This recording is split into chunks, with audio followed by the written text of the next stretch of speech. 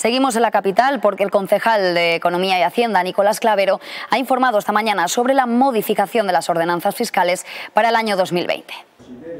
El concejal de Hacienda, Nicolás Clavero, explicaba que se trata de dos ordenanzas. La ordenanza fiscal C-1, reguladora del impuesto sobre bienes inmuebles, y de la ordenanza fiscal C-2, reguladora del impuesto sobre vehículos de tracción mecánica.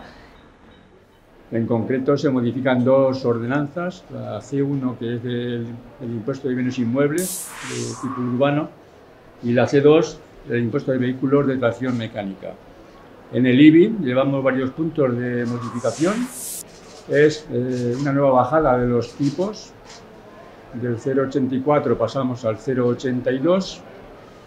También se bajan los tipos diferenciados bajamos la diferencia entre el general y los diferenciados en un 50%.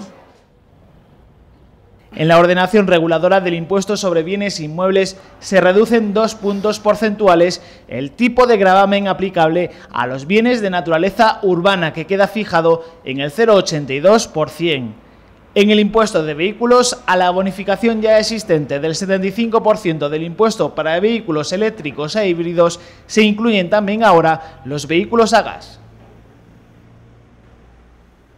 En el impuesto de, vehículos teníamos la bonificación de un 75% para vehículos eléctricos y para vehículos híbridos y también incorporamos aquí también esta bonificación del 75% para vehículos a gas, a cualquier tipo de gas. Ahora se abre un plazo de 10 días para que los grupos políticos presenten enmiendas y esta propuesta deberá pasar por Consejo de Ciudad el próximo 5 de septiembre por Comisión de Hacienda y será aprobada en pleno, si cabe, el 12 de septiembre.